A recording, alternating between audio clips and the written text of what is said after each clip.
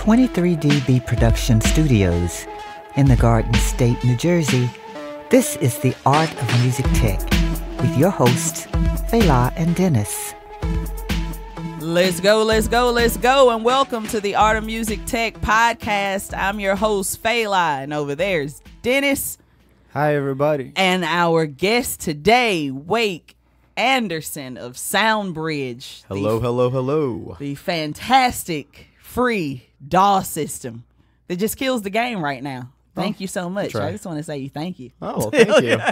Because um, if you complain about not having the right gear, the right software, yada yada yada, you you couldn't have looked at SoundBridge. You, you you can't know of this place yet because they are now killing the game between the DAW system and their verbs and just the technology in general that you guys are bringing. Um, wait, let's talk. Let's do it. All right. uh, yes. You're the founder. Yes. Of SoundBridge. Let Let's go through the story of that. Okay. So I started developing, um, well, I guess writing out, sketching on a piece of paper, designs for just user interfaces for potential, you know, plugins and you know DAW interfaces that I thought would be more concise and consolidated than anything I was seeing in the market. I guess this was when I was a junior at Northeastern University in Boston. Okay, what year? That was uh, 2013. 2000. Well, I started doing these sketches around 2012, but then we started making moves around the end of 2013. Who wait? Right. Did you have partners already? No, no. Um, no, I mean just myself, and then the, uh, obviously the support of you know my family and and the people around me. All right, okay. All right, and um, what was the thought process when you to even do these sketches yep. in, in 2013? Like, yeah, was there something that happened? You were like, damn it, I'm gonna come up with something to yeah. do this, you know? Yeah. So, um, I started playing guitar when I was 10 years old, and I started taking the music theory um, extremely seriously in high school, and I began writing my own music. And then when I entered college in around 2009, um, I got my first MacBook because they had a big sale for students and they had student discounts and stuff. And then I started experimenting with GarageBand.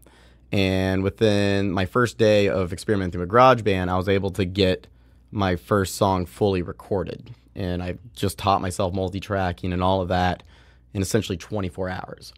And I was like, "Oh my god, this is actually this is actually really this is actually really easy." Um, so I kept doing it, and then it, you know eventually I hit a ceiling in GarageBand yeah. because I'm not sure if they've opened it up to VSTs yet, but um, audio units. Maybe they only had audio units back then, right? Yeah. Um, I don't. I think when I was using it, it was just whatever came with GarageBand because they're trying to upsell you to Logic. Oh, built-in stuff. Yeah. Yeah. But uh, it was limited too, right? Yeah, I think they've opened it up. They might have opened it up a little bit. They might accept VSTs now, but when I was using it, um, they didn't. Yeah. And um, I think that's because they had Logic, which did accept VSTs and had more professional features and stuff.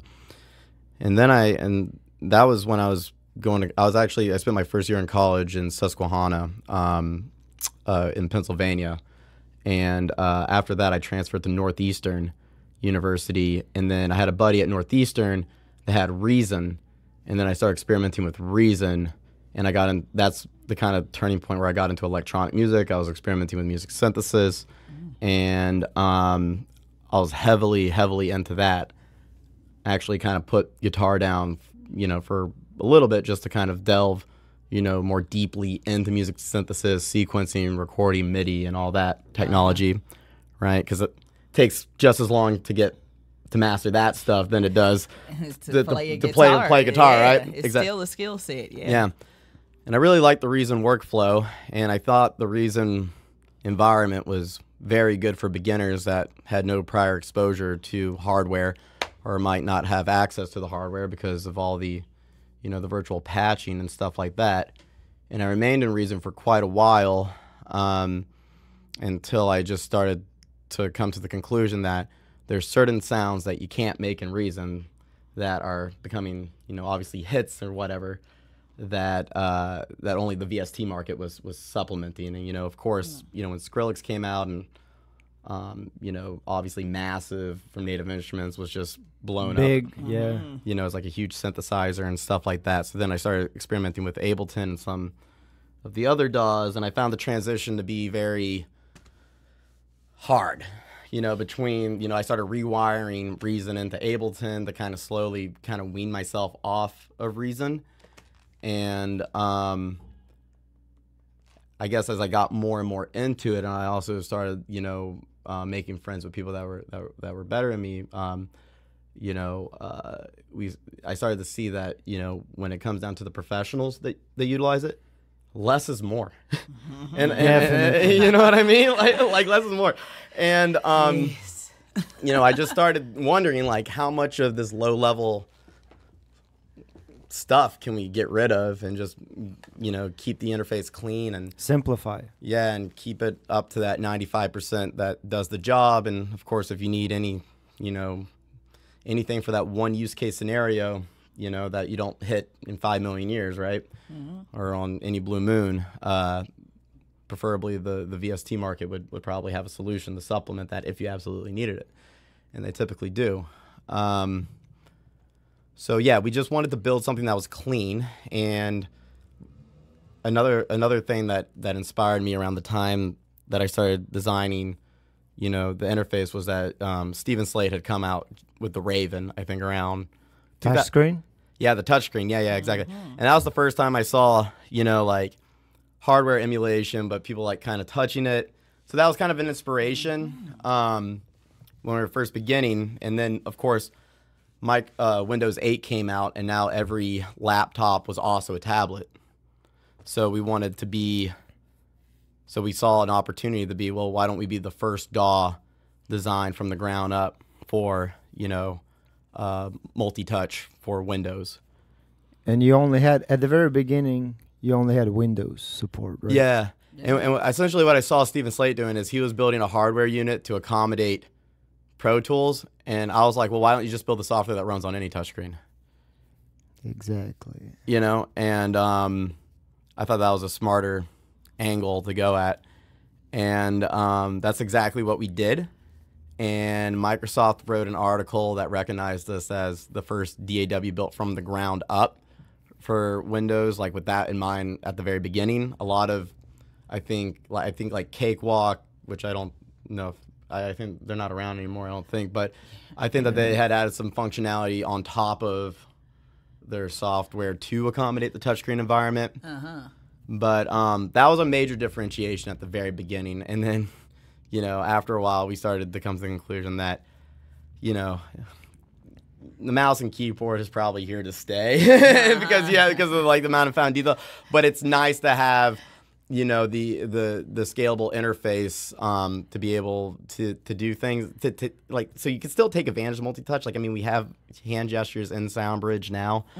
Um, You know that that makes it e- much easier to use with touchscreens than anything. But that's kind of taking a side step to just us trying to you know be something that's seriously professional and clean and, and you know just a good environment and, and a u- unique experience and a unique interface um, but what aiming for mobile did for us was limit what we could put on the interface so we had to make executive decisions as far as well if we add that feature is it easy to touch with your index finger and if it's not, if you can't touch it with your index finger, we're gonna have to implement it in a way where you can, where there's a dialog pop up with like an easy way to scroll through the options.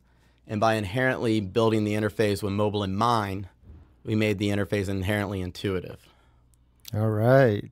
So, you know, it was our main differentiation, and that kind of was the catalyst for building something that's highly professional, but highly clean and highly intuitive and easy to learn.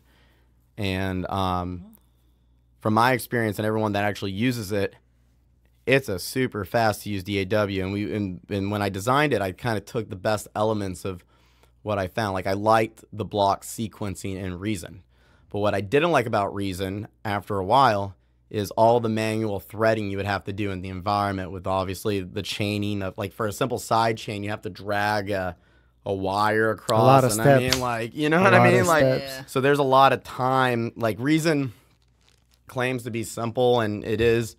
Um, I guess when you're trying to learn synthesis from the ground up, but there's a lot of manual processes in Reason that I saw could be cut. Obviously, I mean, just inherently, if you're trying to mimic hardware, I mean, hardware is like a physical thing, you know. So like, Mm-hmm. Yeah. so yeah, so it, it- so I, I found personally that I was limited in Reason after a while just because of all the manual uh, moving of the wires, and then you have to, and if you forgot exactly what patch, like you have to go back and check, and you know, and if you have like a huge, and, and on, another thing is you have to build every every single freaking sound essentially from scratch, and at the time they didn't provide VST support, but now they do, but um. I don't know. I, I I actually haven't used Reason in quite a while, so I can't really speak on that. But um, yeah, it's just it was just a lot of manual processes, and it kind of the more manual processes that you have, the the less you're focused on actual actual composition and arrangement. And coming from a songwriter's perspective, I've always um, kind of looked at the song, you know, the sum of all parts versus the low level details of like kind of like how the sound was created. Um, and I think a lot of the professionals think that way too. Um, and you know, we're we're, we're kind of coming up along companies like Splice that essentially you pay a seven dollar subscription and you have a huge selection of really good kick drums. I mean, I don't know how much time people want. I mean, it's nice to know how to make a good like 909 kick drum and how to polish it and stuff, but um, it's good to know that so that you can make fine tune adjustments and stuff like this. But if you have a ban- sample bank of twenty thousand perfectly polished 909 kick drums, then like, Like, then, why then why why make every sound like you know what I mean? Like why make? So um, I contacted Splice. I wish they would work with us. It'd be nice to have a little help widget like kind of natively integrated within SoundBridge, so then you could just drag and drop your samples directly in. So I don't know if they Right. listen to this, they might We'll, we'll try and tag them on this. Get this. Oh, get hell the yeah. Conversation yeah, going. yeah. Uh, But how? Uh, so when we first met you, we actually didn't meet you. We Yeah. met your partners, uh, and you were Lumit back then. Uh, Windows based DAW. You didn't even have uh, Mac support. Yeah. So how did you make the transition from Lumit to SoundBridge, and what Yeah. So was involved in that? so Lumit was just our very very minimum value offering. Um, when we designed it, I mean, there's some things that I that I personally liked about Reason that I saw other DAWs doing, but then I realized that they weren't that practical. Like for example, like you know having a light colored interface, right? Like having a light colored interface to me, it, at the time it, it looked kind of elegant and stuff, but then it gets draining on the eyes, you know, and also it can it, it can wear out your battery because the LEDs are going, and you know, so it came with some. It, it was quite a learning process from Lumit going into SoundBridge, but um, we we we entered the world's largest startup accelerator. We got into the world's largest startup accelerator called MassChallenge, which is based in the Seaport area of Boston, and we're surrounded by a lot of mentors, but one in particular, um, Enrique Levin from Mexico City, was just pretty much took us by his wing.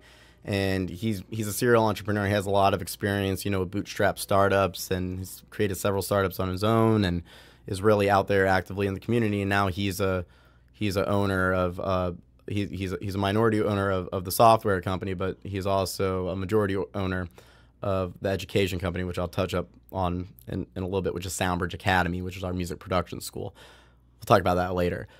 But um, we thought we had to go through a complete rebranding phase because we made um, we we thought that this our the new changes that we're going to make to the software were going to be so different from Lumit um, that it required a new name and just a new rebranding altogether.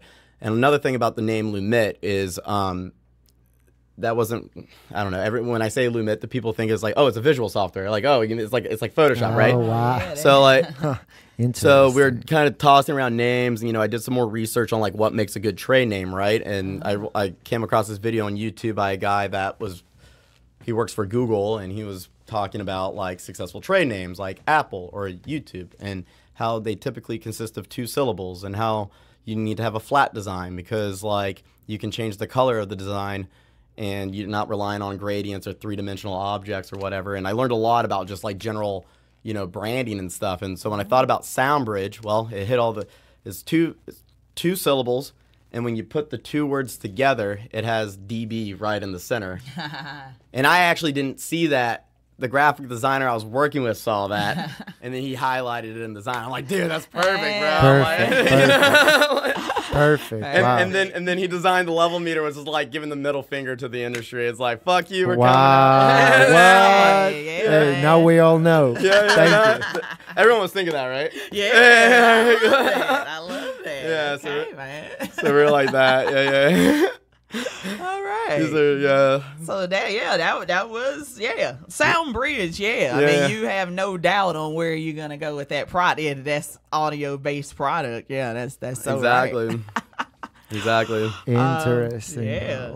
So that was that was fun. So um yeah, so we, we went through a revamp. We wanted we wanted to make the interface, you know, as inspiring as possible. I think like half half of making a good music software is making something that not only works and functions and is concise, easy to get your head around and use rapidly, in addition to making good sounds. All right. Like it's mm-hmm. one thing to make good sound. I mean, like the, the technology behind what makes a good sound like has been around for decades. Everyone knows that, you know, and, and we're still just recycling kind of the basic components and reconfiguring them in various ways.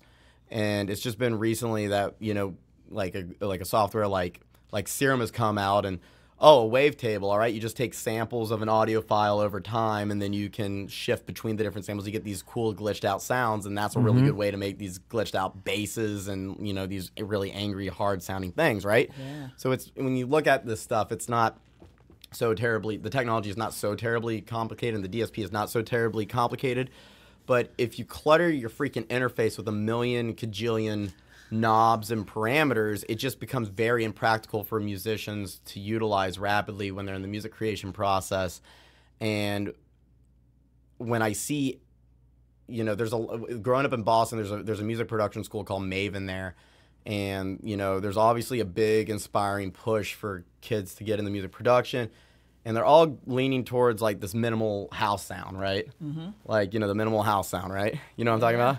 Oh, and yeah. and the minimal house sounds like it's it's good, but it's it's very minimal to me. Yeah.